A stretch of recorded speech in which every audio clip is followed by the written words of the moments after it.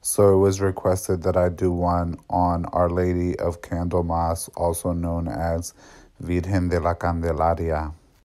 She's a very popular saint and image used in various traditions throughout the Caribbean. In Espiritismo, she's known for her ability to confer protection and cleanse spiritually, as well as bring in money. In the 21 divisions, she's connected with Candelina Sedife, a powerful matresa.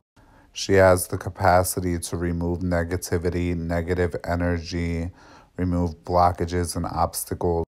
Speaking of which, if you'd like to destroy your blockages, obstacles, anxiety, and stress, and get love, peace, and success, go ahead and click the link in my bio get your free masterclass.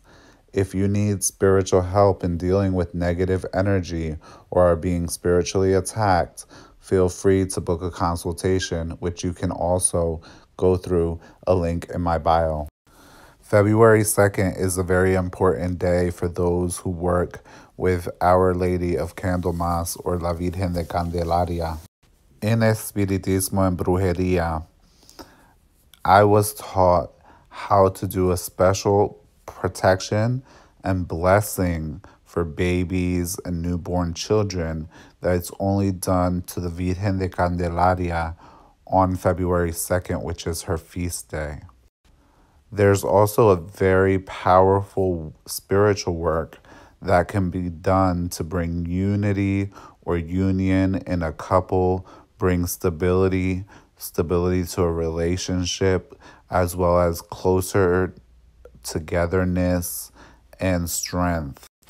That again is only done with La Virgen de Candelaria on February 2nd.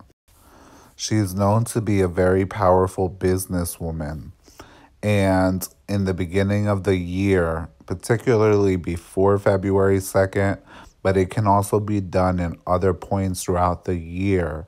There are special times when she can be invoked to assist in your business and building wealth. Like, comment, follow for more. As always, leave topic suggestions in the comments. I love those topic suggestions. And lastly, if you need help, feel free to reach out to us. Go through the link in my bio, book your consultation now, and get your free masterclass. Don't miss out.